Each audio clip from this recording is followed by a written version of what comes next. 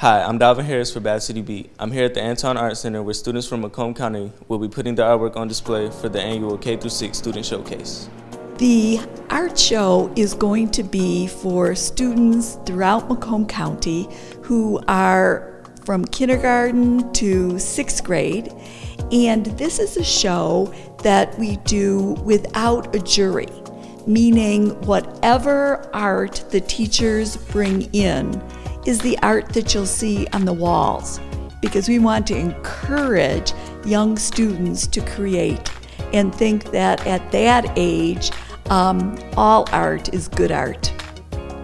Is there any specific theme to the art that's being displayed here? No. Um, sometimes when we do shows, there is a, a theme. Um, but when it's the student show, it is whatever the people are creating in their classrooms. And so sometimes you do see certain themes because teachers approach teaching art um, sometimes in similar ways. The K through 6 showcase opens up with a reception Saturday, April 12th and continues through May 11th. Art from about 40 different schools can be expected to be on display here at the Art Center. Every couple weeks we got something new. We have three different galleries, the first floor and the second floor. There's always something new coming in. I feel art is very important at a young age because young artists usually create a young portfolio and they'll have a springboard to become an adult artist. So when you have a lot of experience, uh, good experience as a young artist, that'll help your career as you get older and try to pursue a career in arts, possibly.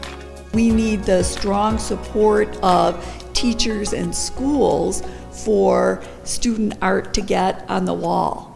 Um, and so it is fairly easy. We have a, a wonderful um, exhibition and education manager who is in charge of that process. And there's information on our website for um, teachers about how to get the art here.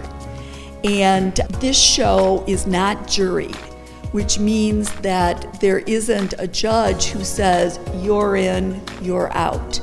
Um, the one for K through 6 is open call and everything shows up on the wall. The art that is shown here is really important to the students and their families. Um, and so I would really encourage um, teachers and students to, to get involved and um, bring their art here. There are no jurors in the K-6 art show to emphasize to kids that all art is good art. No one's artwork is turned down and it all gets displayed. Come on down. Um, the Art Center is free. We're open to the public. We change our exhibits every six to eight weeks. And so if you don't like what's on the walls today, um, in a month or two, you might love it. The art showcase will be going from April 12th to May 11th, so come check out some of Macomb County's best work for grades K through 6. For Bath City Beat, I'm Dalvin Harris.